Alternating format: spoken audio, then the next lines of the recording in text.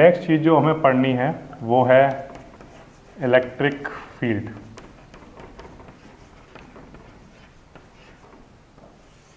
कितने टॉपिक अभी तक हो चुके? फाइव हो गए? ये नंबर कितना है? सिक्स ठीक है. इलेक्ट्रिक फ़ील्ड इलेक्ट्रिक फ़ील्ड क्या होता है, वो सुनिए आप ध्यान से. देखो, सुनिए, ध्यान दीजिए. आपने जब मुझे कुछ एक्सपेरिमेंट करके दिखाए थे तो आपने मुझे ऐसे बताया था. कि ये एक ग्लास रॉड है और ये ग्लास रॉड को जब मैं सिल्क क्लॉथ पर रब करता हूँ और जब किसी दूसरी चार्ज बॉडी के पास लेकर आता हूँ तो ये उसको क्या कर लेता है? अट्रैक्ट तो इसको उसके पास जाना पड़ता है लेकर आने के लिए या दूर से ही अट्रैक्ट कर लेता है? दूर से ही कर लेता है। ठीक है, एक बात। किसी दूसरी बॉडी को ये क्या करता है? अपने पास जब मैं इसको लेकर जाता हूँ तो उसको क्या कर देता है? रिपेल तो इसको ऐसे करके जाना पड़ता है या दूर से ही रिपेल कर देता है? दूर से ही रिपेल कर देता है। ये बात आई समझ में? तो इसका मतलब ये है कि किसी भी चार्ज बॉडी के पास एक ऐसा मैजिकल पावर होता है जिससे वह दूर से ही चीज़ों को खींच लेता है और दूर से ही क्या कर देता है? रिपेल कर देता है। तो कुछ ना कुछ तो ऐसा होता होगा। ठीक है। तो हमने ऐसा सोचना शुरू किया कि अगर मैं किसी बॉल को हाथ में लूँ बॉल और उस बॉल को मैं यहाँ से फेंक दूँ तो फेंकने पर क्या होगा? वो बॉल कहाँ चली जाएगी? अर्थ पर गिर जाएगी। ठीक है। तो क्या अर्थ उसको उठाने के लिए ऊपर आती है या अर्थ अपनी जगह पर रहती है और वहीं से खींच लेती है? वहीं से खींच लेती है। कभी भी अर्थ ऊपर नहीं आती उसको खींचने के लिए। ठीक। तो ऐसी ही पावर हमें किसमें देखने को मिलती है? अर्थ में। आपने देखा इस चौक को अगर मैं यहाँ से छोड़ दूँ तो कहाँ गिरेगी? नीचे। अर्थ उसे, अर्थ ऊपर नहीं आई उसको लेने के लिए, लेकिन वहीं से खींच लिया। तो जैसी पावर अर्थ के पास होती है, ऐसी ही पावर किसके पास होती है? चार्ज के पास। ठीक है? तो अर्थ की उस पावर का आपने क्या नाम रखा था? तो आंसर है ग्रेविटेशनल फ़ील्ड ग्रेविटेशनल फ़ील्ड आपने उसको फ़ील्ड नाम दिया था। ठीक है ना? ग्रेविटेशनल फ़ील्ड किसकी हेल्प से वो चीज़ों को खींच लेती है? ग्रेविटेशनल फ़ील्ड की हेल्प से।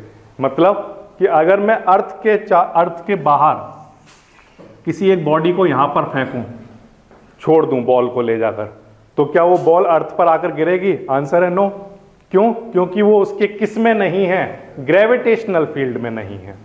ठीक है?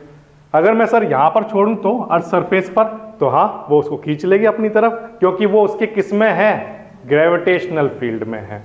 तो इसका मतलब अर्थ का जिस तरह से ग्रेविटेशनल फ़ील्ड होता है, उसके अंदर या उसकी सरफेस पर जब कोई बॉडी होती है तो वो उस पर एक फ़ील्ड लगाती है, एक फोर्स लगाती है that is called gravity force और उसको अपनी तरफ़ खींच लेती है। ठीक है? जब उस फ़ील्ड से बाहर वो कुछ भी बॉडी होती है स्पेस में तो वो उसको नहीं खींच पाती। तो इसी तरह से हमने सोचना शुरू किया कि जो चार्ज होता है, वो चार्ज भी कुछ ऐसे ही काम करता होगा। कैसे? देखिए, सुनिए ध्यान से। मैंने यहाँ पर एक चार्ज रखा पॉजिटिव चार्ज ठीक है? मैंने यहाँ पर एक पॉजिटिव चार्ज रखा। मैंने सोचा कि ये भी पॉजिटिव है, ये भी पॉजिटिव है तो चार्ज एक दूसरे को पॉजिटिव चार्ज पॉजिटिव चार्ज एक दूसरे को क्या करते होंगे? रिपेल सेम चार्ज क्या करते हैं? रिपेल करते हैं. तो मैंने सोचा ये इसको रिपेल करेगा। इसने नहीं किया। इसने नहीं किया। तो मैंने कहा अच्छा एक काम करता हूँ, इसको यहाँ से उठाता हूँ और यहाँ लेकर आता हूँ। मैंने कहा, अब करेगा? नहीं किया। फिर मैंने सोचा, चलो, अब मैं इसको यहाँ पर रख देता हूँ। अब इसने इसको रिपेल किया। तो इसका मतलब यह है कि पहले तो ये यहाँ पर था, यहाँ पर था। ए पोजीशन पर था बी पोजीशन पर था। रिपेल नहीं करता था। लेकिन सी पोजीशन पर जैसे ही रखा, अब ये इसको क्या करने लग गया? रिपेल करने लग गया।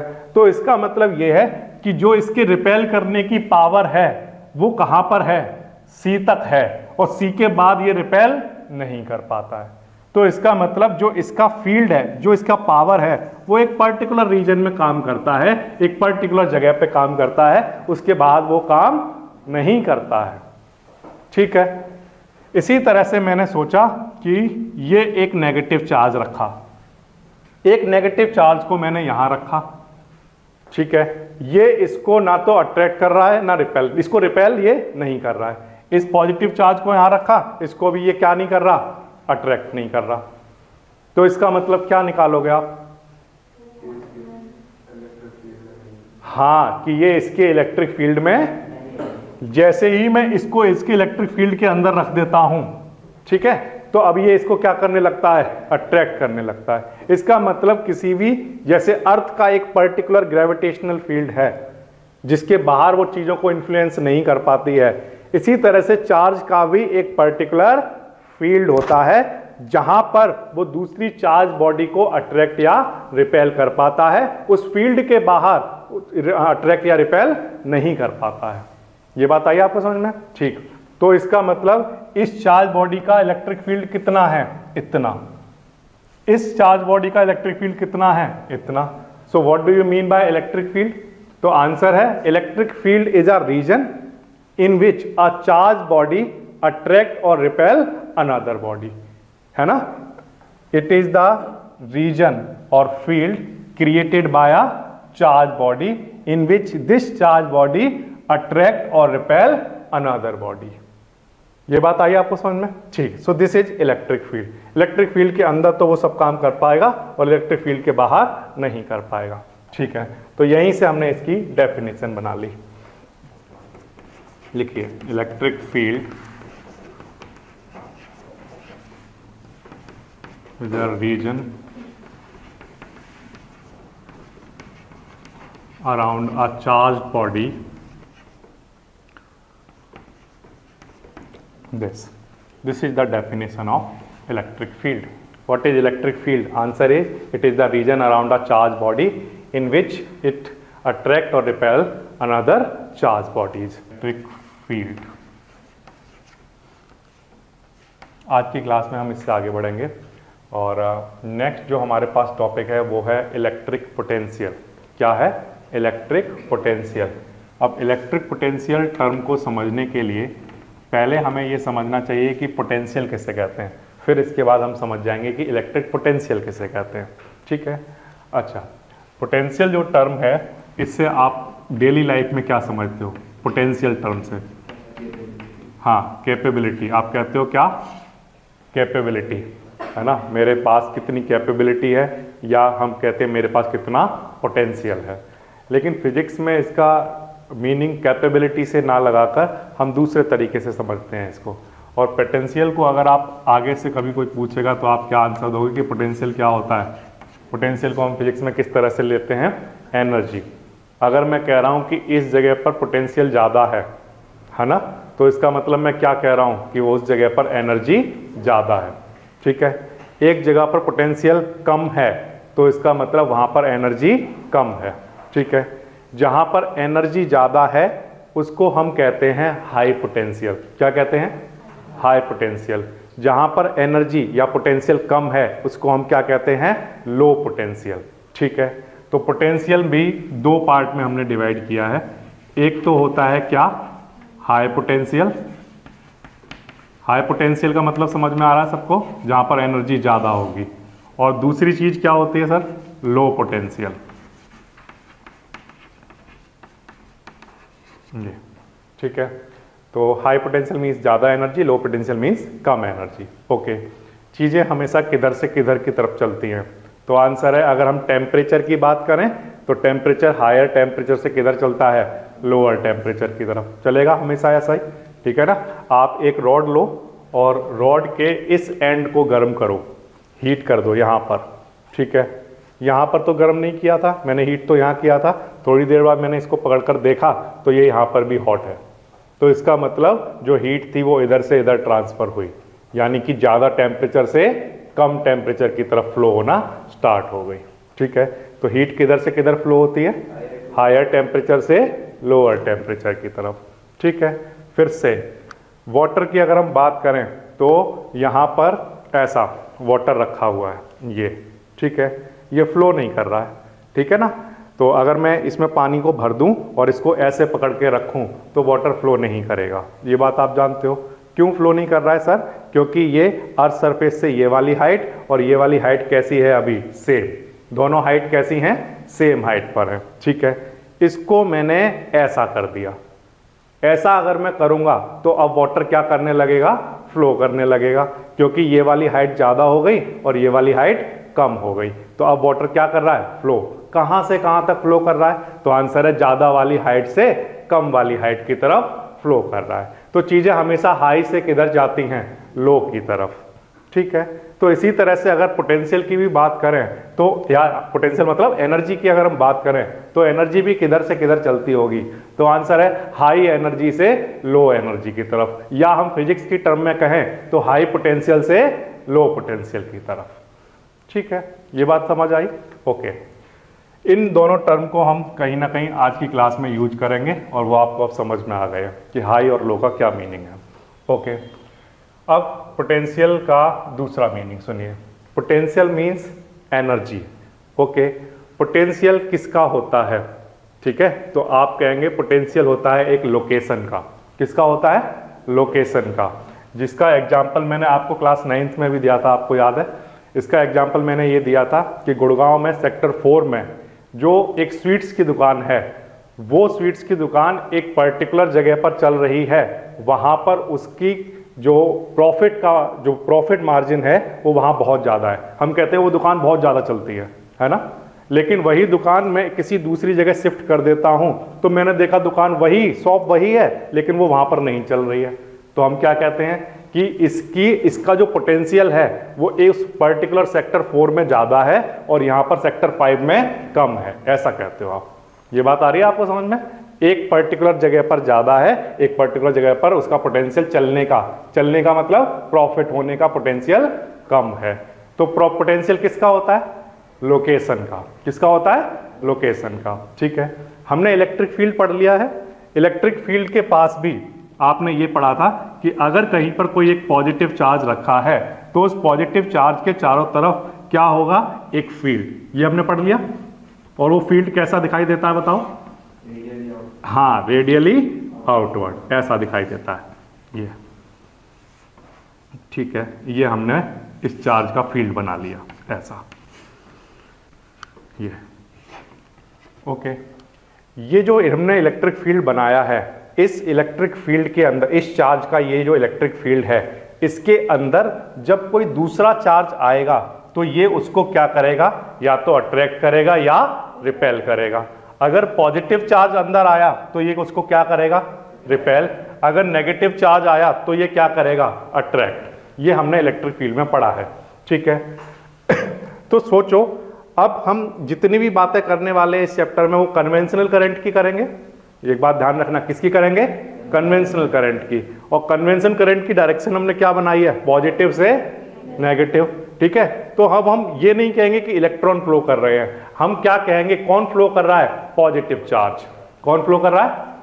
और ये हमने माना है कि पॉजिटिव चार्ज फ्लो कर रहा है। एक्चुअल में क्या कर रहा होता है? इलेक्ट्रॉन फ्लो कर रहा होता है। और उस करंट का क्या नाम होता है? इलेक्ट्रॉनिक करंट और हमने अपने कन्वीनियंट के लिए ये मान लिया कि कन्वेंशनल करंट में जो फ्लो करता होगा वो कौन होता होगा? पॉजिटिव चार्ज ठीक है? तो ये जो पॉजिटिव चार्ज है इस पॉजिटिव चार्ज के फ़ील्ड में अगर कभी भी धोखे से कोई भी पॉजिटिव चार्ज आ गया तो वो ये इसको क्या कर देगा? रिपेल। रिपेल करने का मीनिंग ये है कि ये इस पर क्या लगा देगा? एक फोर्स। क्या लगा देगा? और जब ये इस पर एक फोर्स लगाएगा, वो फोर्स लगाकर इसको डिस्प्लेस कर देगा तो हम क्या कहेंगे? इसने इस पर क्या कर दिया? एक work.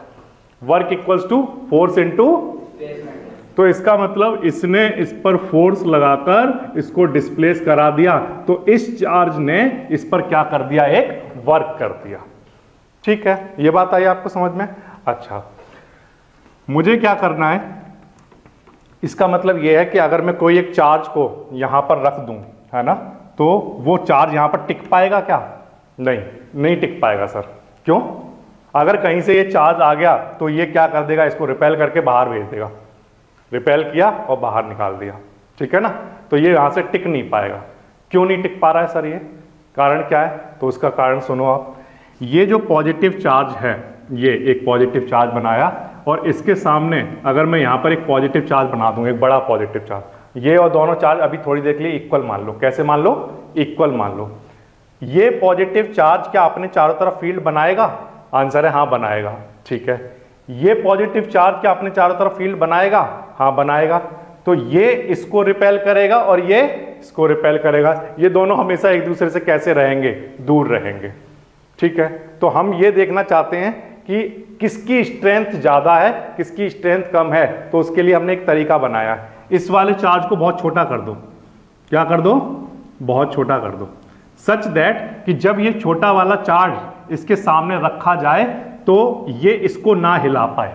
ना हिला पाए। इसका मतलब समझ में आ रहा है? अगर दो पॉजिटिव चार्ज ये बराबर जो स्ट्रेंथ के थे, अगर सामने सामने रखे जाएँगे तो वो एक दूसरे को क्या कर देंगे? रिपेल। ठीक है? अब मैंने क्या किया? एक बड़ा चार्ज रखा और एक इतना छोटा चार्ज रखा कि ये इसको नहीं हिला सकता, लेकिन ये इसको रिपेल कर सकता है। ठीक? तो ऐसा चार्ज, जो बड़ा वाला चार्ज है, इसका नाम हमने रख दिया क्या? Source charge. क्या नाम रख दिया प्यारे बच्चों? Source charge. क्या नाम रखा? जो बड़ा हैवी बड़ा वाला चार्ज है। और जो बिल्कुल छोटा सा चार्ज है, वो भी पॉजिटिव है, लेकिन बहुत छोटा सा है। इसका मतलब आप ऐसे लगा लो कि अगर इस पर 100 चार्ज है 100 कूलोम चार्ज तो इस पर मैंने लिया 0.1 कूलोम चार्ज इसके मुकाबले ये कैसा है? बहुत छोटा है। ये बात आ रही समझ में? तो ये तो इसको रिपेल कर पाएगा, हिला देगा फोर्स लगा देगा, लेकिन ये इसको नहीं हिला पाएगा फोर्स नहीं लगा पाएगा। तो जो मेन फोर्स लगाने वाला है, वो कौन सा वाला चार्ज है? ये चार्ज और इसका मैंने क्या नाम रखा? सोर्स चार्ज ठीक है? और जिसको जो छोटा वाला चार्ज है, उस पर मैं टेस्टिंग कर रहा हूँ कि इसका इलेक्ट्रिक फ़ील्ड कहाँ कहाँ है। ऐसे रख रख के देख रहा हूँ। इसलिए मैंने इस चार्ज का क्या नाम रख दिया? टेस्ट चार्ज ठीक है? टेस्ट चार्ज और सोर्स चार्ज में डिफरेंस समझ आया? सोर्स चार्ज क्या होता है? सोर्स चार्ज ये है जिसका ये इलेक्ट्रिक फ़ील्ड बना हुआ है। टेस्ट चार्ज क्या होता है? टेस्ट चार्ज वो चार्ज है जो हम यहाँ पर रख रख के देखेंगे। क्या यहाँ पर रखने पर ये इसको रिपेल कर रहा है? तो आंसर आया, नहीं कर रहा है। इसका मतलब यहाँ पर इसका इलेक्ट्रिक फ़ील्ड नहीं है। ठीक है? फिर हमने टेस्ट चार्ज को यहाँ रखकर देखा। क्या ये रिपेल हो रहा है? तो आंसर है, नहीं कर रहा। इसका मतलब इसका इलेक्ट्रिक फ़ील्ड यहाँ पर नहीं है। फिर हमने यहाँ पर रखा। अब ये इसको रिपेल कर रहा है। इसका मतलब इस चार्ज का इलेक्ट्रिक फ़ील्ड यहाँ पर है। ठीक? तो हम उस चार्ज से छोटे वाले चार्ज को रख रख कर देख रहे हैं कि इसका इलेक्ट्रिक फ़ील्ड कहाँ कहाँ फैला हुआ है। इसलिए हमने उस चार्ज का क्या नाम रख दिया है? टेस्ट चार्ज ये बात आई समझ में? ठीक। अब देखिए सोर्स चार्ज और टेस्ट चार्ज ये दोनों मिलकर क्या कहानी बना रहे हैं, वो सुनिए आप ध्यान से।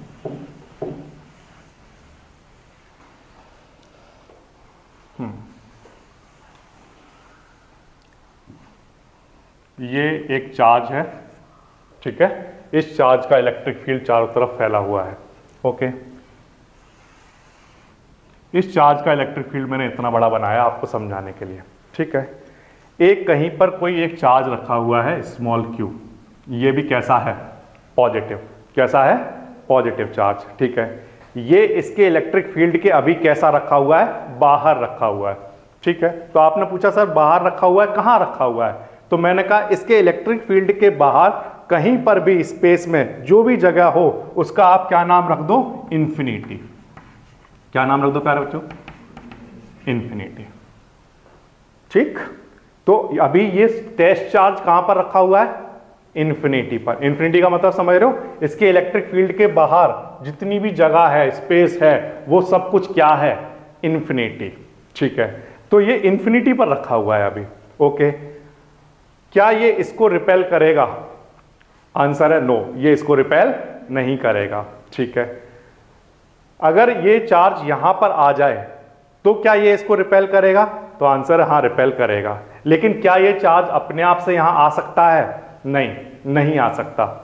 क्योंकि हमने ये रूल पढ़ा है कि चार्ज को एक जगह से दूसरी जगह पर जाने के लिए क्या देनी पड़ती है? एनर्जी ठीक है? तो ये अपने आप से नहीं आ सकता। तो इसका मतलब ये है कि मुझे इन्फिनिटी से इसको यहाँ पर क्या करना पड़ेगा? लाना पड़ेगा। और लाने के लिए मुझे इस चार्ज पर क्या करना पड़ेगा? एक वर्क कराना पड़ेगा। ठीक है? तो मैं क्या करने वाला हूँ? सुनिए ध्यान से। इसे इन्फिनिटी से पकड़ूँगा अपने हाथ में। इसको चार्ज को मैंने इंफिनिटी से अपने हाथ में पकड़ा और पकड़कर कहाँ पर लेकर आ गया? इलेक्ट्रिक फ़ील्ड के अंदर किसी पॉइंट पर। इलेक्ट्रिक फ़ील्ड के अंदर किसी पॉइंट पर। ठीक है? तो मैंने यहाँ से इसको पकड़ा और यहाँ लेकर आ गया ए पॉइंट पर। ये। ठीक? ये बात आई समझ में? इंफिनिटी से। मैंने इसको पकड़ा और यहाँ पर लेकर आया तो मैंने इस चार्ज पर क्या कर दिया? वर्क डन ठीक है? वर्क जो होता है, वो ऑलवेज किसमें कन्वर्ट होता है? या किसके इक्वल होता है? तो ये नाइन्थ लेवल पर हम पढ़ के आए हैं कि सर, अगर आप कभी यूजफुल वर्क करोगे तो वो वहाँ पर क्या कम होती जाएगी? और अगर आप यूजफुल वर्क नहीं करोगे तो क्या सेफ़ होती रहेगी? एनर्जी ठीक है, इस बात का मीनिंग हमने ये पढ़ा था। आपको याद होगा, मैंने ऐसे एग्ज़ाम्पल दिया था। एक स्टूडेंट को यहाँ से, इस बोर्ड से लेकर यहाँ तक जाना है। यहाँ से लेकर यहाँ तक जाने में सपोज़ करो उसकी 10 जूल एनर्जी लगती है। कितनी एनर्जी 10 जूल एनर्जी लगती है। अगर वो यहाँ से लेकर यहाँ तक चलकर जाता 10 जूल एनर्जी लगती, ठीक है? अच्छा। अब मैंने क्या किया? उसको बोला कि आप यहाँ से लेकर यहाँ तक जाओ। तो उसने 10 जूल एनर्जी खर्च कर दी। टोटल एनर्जी आप सपोज़ करो उसके पास अभी कितनी है? 20 जूल टोटल एनर्जी पहले स्टार्टिंग में कितनी थी?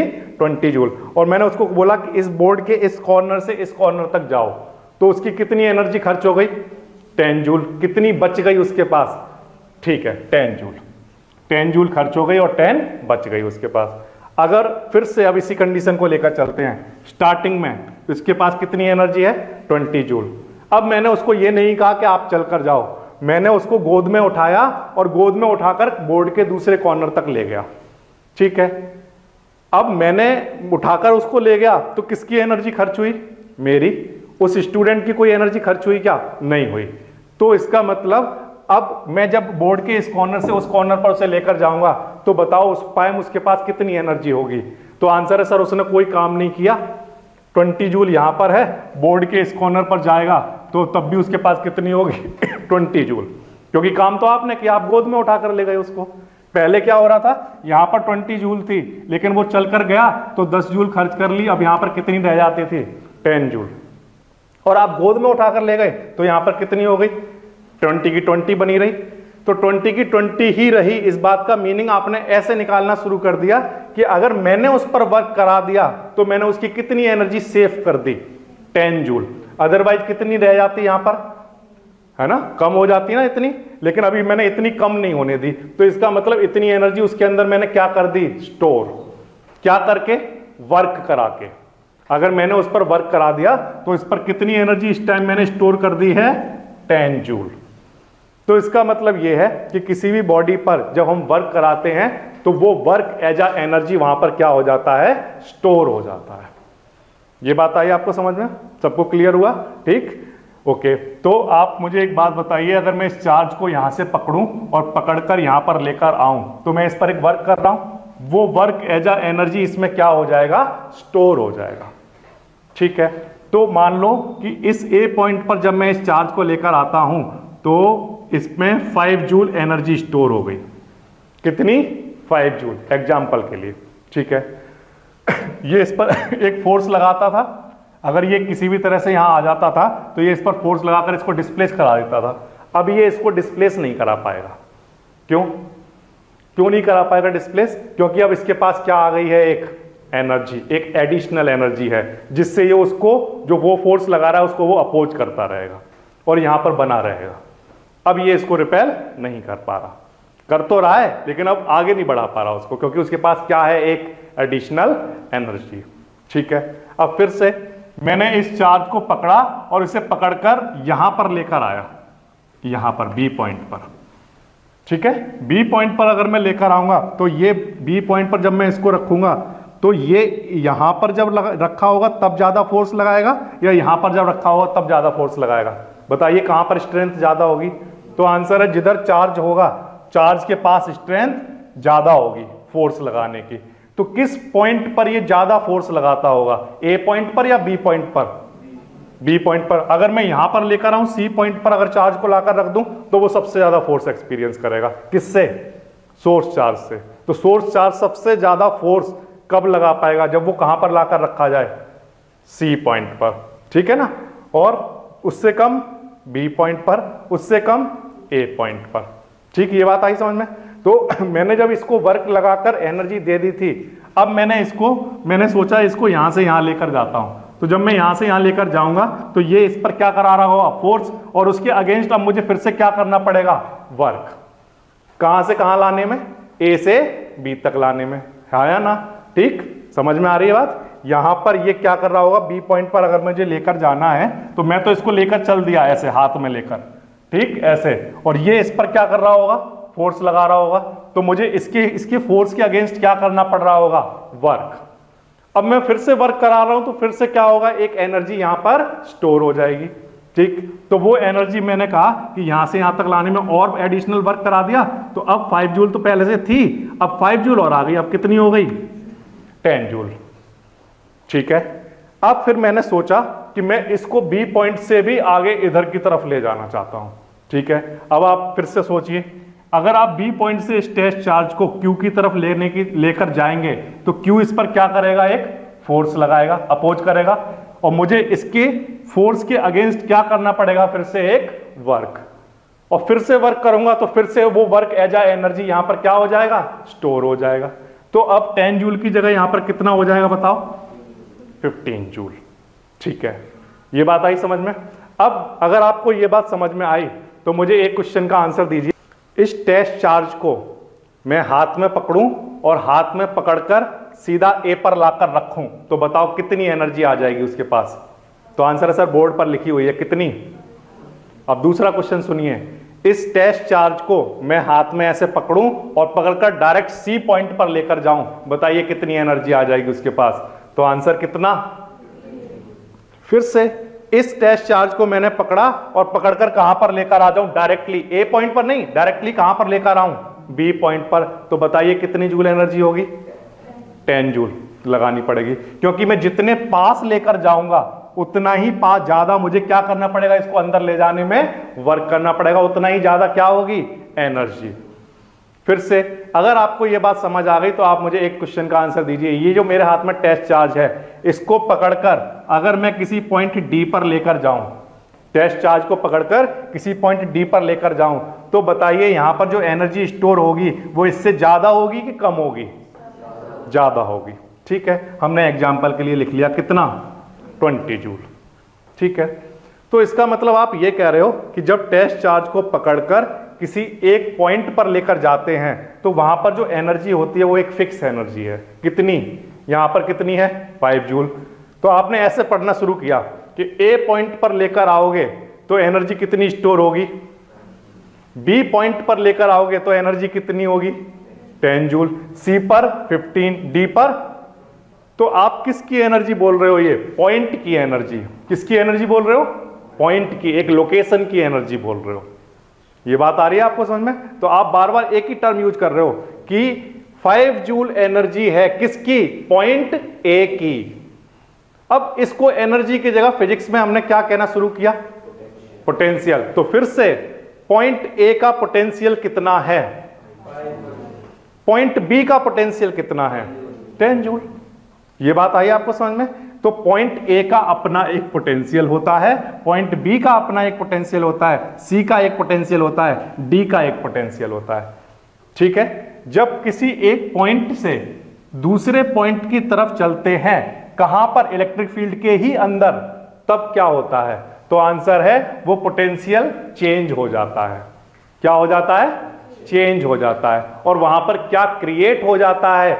एक पोटेंशियल डिफरेंस क्या क्रिएट हो जाता है? एक पोटेंशियल डिफरेंस फिर से एक टेस्ट चार्ज को पकड़ो और पॉइंट ए पर लेकर आओ। तो यहाँ पर क्या क्रिएट हो जाता है? तो आंसर है, सर, यहाँ पर क्रिएट हो जाएगा एक पोटेंशियल एनर्जी लेकिन अगर आप ए पॉइंट से बी की तरफ़ गए तो इस पोटेंशियल में क्या आ जाएगा? एक चेंज जिसकी वजह से क्या क्रिएट हो जाएगा? एक पोटेंशियल डिफरेंस अब क्योंकि आप इतनी देर से ये सारी बातें चार्ज के बारे में कर रहे हो तो ये जो पोटेंशियल है, इसका नाम आप ये रख लो। कैसा पोटेंशियल और इस पोटेंशियल डिफरेंस का, जो यहाँ पर डिफरेंस क्रिएट हो जाता है, इस पोटेंशियल डिफरेंस का आप क्या नाम रख लो? इलेक्ट्रिक पोटेंशियल डिफरेंस ठीक है? बताइए यहाँ से यहाँ तक जाने में कितना इलेक्ट्रिक पोटेंशियल डिफरेंस आया? तो आंसर है फाइव जूल फिर से ए पॉइंट से अगर डायरेक्टली सी पॉइंट पर हम जाते तो क्या क्रिएट हो जाता? एक पोटेंशियल डिफरेंस कितना? तो 5 से 15 गए 10 जूल ये समझ आया? तो क्लास टेंथ में फिजिक्स में इलेक्ट्रिसिटी चैप्टर में सबसे ज़्यादा इंपोर्टेंट टर्म कौन सा है? तो आंसर है electric potential and electric potential difference ये दोनों टर्म आपके सामने आप बोर्ड पर हैं। और इनको अब बहुत आसानी से आप समझ जाओगे। कैसे? सुनिए ध्यान से। किसी भी यूनिट पॉजिटिव चार्ज यूनिट कह रहा हूँ ना, बहुत छोटा नाम, एक रख देता हूँ वन वन कूलों है ना? यूनिट पॉजिटिव मैं कहूँगा, इसका मतलब उसकी बहुत छोटी वैल्यू ले ली मैंने यूनिट ठीक है?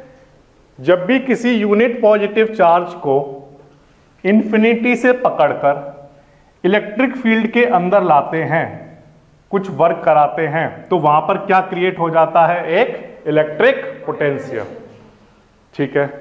तो ये इलेक्ट्रिक पोटेंशियल किसके इक्वल होगा? ये एनर्जी किसके इक्वल होगी? जितना हमने क्या कराया? वर्क क्या कराया? So what is the definition of electric potential answer is it is the amount of work done it is the amount of work done in bringing a unit positive charge from infinity to a point in electric field. एक electric field के अंदर कहाँ पर लेकर आ रहा हूँ? Point पर. तो ये बात ध्यान रखना। डेफिनेशन बिल्कुल आसान है। It is defined as the amount of work done in bringing a unit positive charge from to a in a electric field बिल्कुल सिंपल है। ये बात आई आपको समझ में? ठीक। फिर से, ये एक इलेक्ट्रिक फ़ील्ड है और यहाँ पर चार्ज रखा हुआ है। अगर मैंने इतनी देर में आपको कुछ समझा पाया तो आप ये बताइए चार्ज कहाँ रखा हुआ है? वेरी गुड इंफिनिटी पर रखा हुआ है। ठीक है। इस यूनिट पॉजिटिव चार्ज को इंफिनिटी से पकड़कर इलेक्ट्रिक फ़ील्ड के अंदर किसी भी एक पॉइंट पर लाने में जितना वर्क करना पड़ता है, उसे क्या कहते हैं? बिल्कुल आसान है। फिर से ये किसी एक पॉइंट पर आ गया। ओके अब ध्यान से सुनना मेरी बात। किसी यूनिट पॉजिटिव चार्ज को इलेक्ट्रिक फ़ील्ड के ही अंदर एक पॉइंट से दूसरे पॉइंट तक ले जाने में जो वर्क करना पड़ेगा, उस वर्क को हम क्या कहते हैं? इलेक्ट्रिक फ़ील्ड के अंदर ही लेकर जा रहे हो। एक पॉइंट से दूसरे पॉइंट पर। तब हम उसको क्या कहेंगे?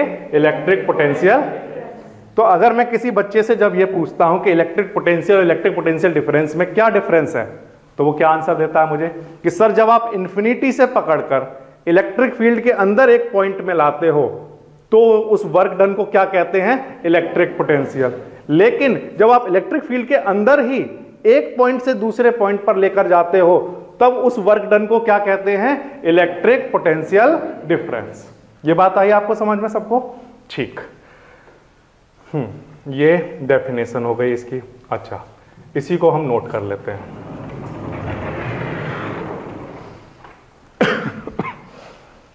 Electric potential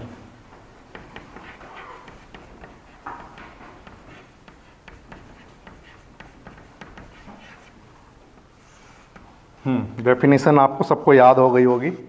It is defined as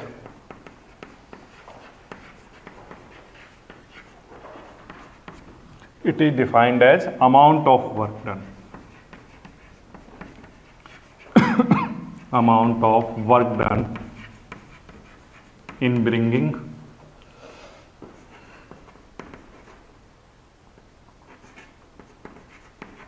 a unit positive charge a unit positive charge from infinity infinity से कहाँ पर लाऊँगा प्यारे बच्चों में?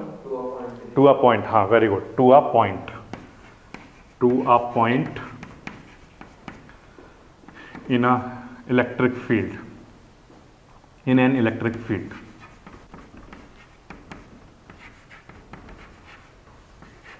of source charge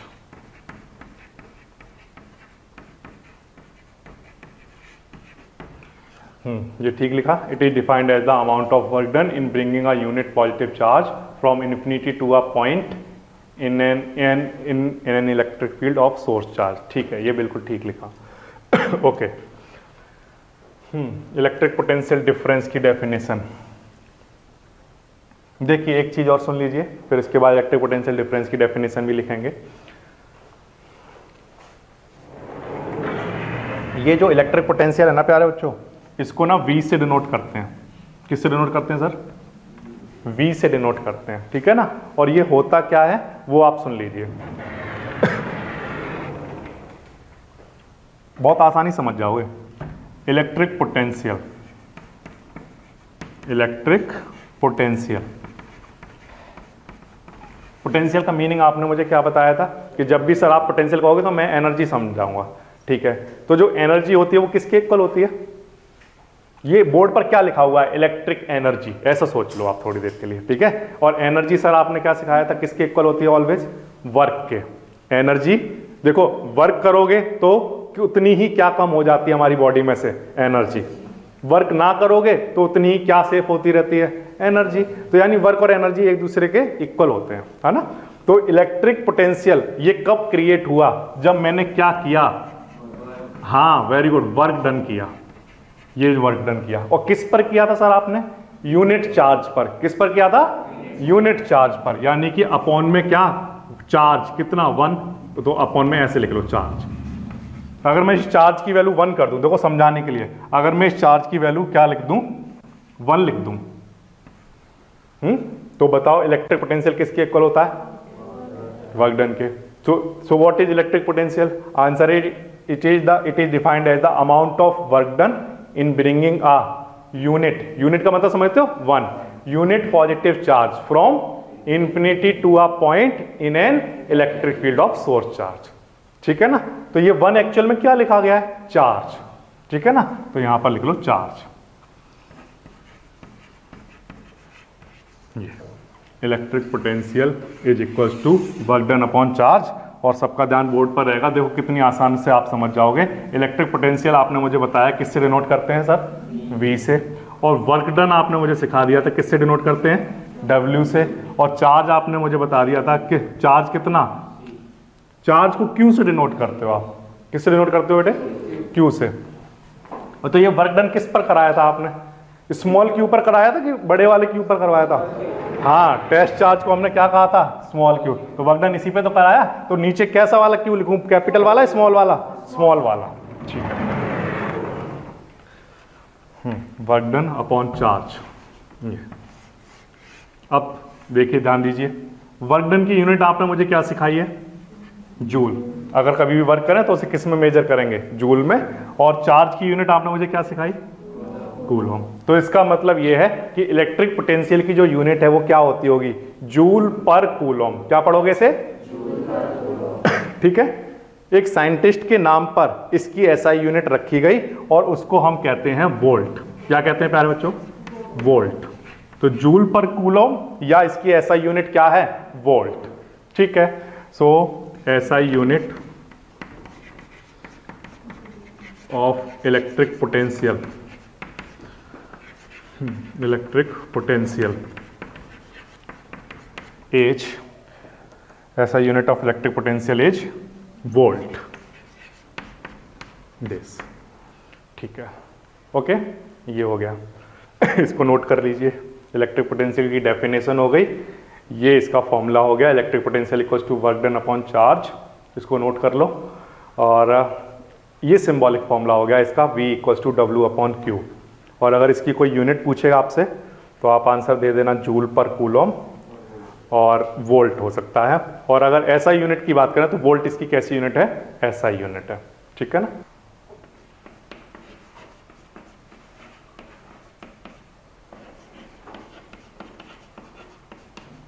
electric potential difference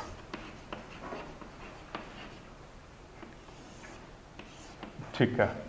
definition आपने मुझे क्या सिखाई है कि इलेक्ट्रिक फ़ील्ड के अंदर अगर एक पॉइंट से दूसरे पॉइंट पर लेकर जा रहे हो तो आप जितना वर्क करोगे that is called electric potential difference ठीक है?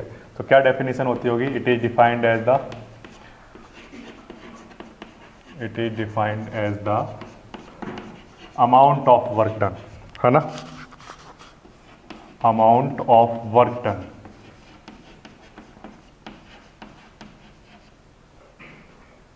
In bringing दोनों डेफिनेशन बिल्कुल एक जैसी बना देंगे, ठीक है ना? In bringing unit positive charge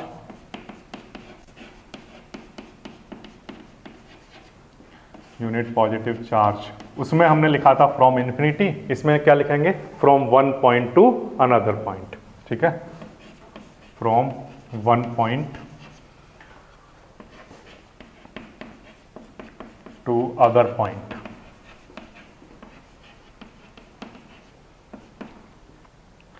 in a in an electric field of source charge.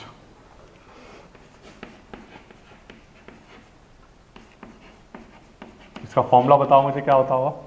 तो आंसर सर इलेक्ट्रिक पोटेंशियल और इलेक्ट्रिक पोटेंशियल डिफरेंस दोनों एक ही बातें तो हैं, है ना? तो इसलिए उनका फॉर्मूला भी सेम होता होगा। What is electric potential difference answer is it is the amount of in bringing a unit positive charge from one point to तो पोटेंशियल डिफरेंस ये हुआ वर्क डन अपॉन चार्ज और पोटेंशियल डिफरेंस को denote किससे करेंगे?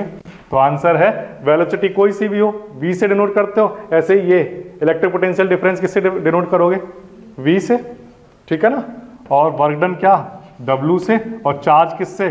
Q से। तो ये दोनों एक ही बातें हैं। एक इंफिनिटी से इलेक्ट्रिक फ़ील्ड के अंदर लाना होता है और दूसरे में इलेक्ट्रिक फ़ील्ड के अंदर ही एक पॉइंट से दूसरे पॉइंट में लाना है। और इसकी यूनिट भी बता दो, क्या होती होगी? जूल पर सेकेंड जूल पर कूलम सॉरी और क्या होता हुआ? वोल्ट और यहाँ पर लिख लो इसकी ये आई यूनिट है। SI unit of electric potential difference electric potential difference as volt ये ठीक है ना? ये इलेक्ट्रोपोटेंशियल डिफरेंस की डेफिनेशन होगी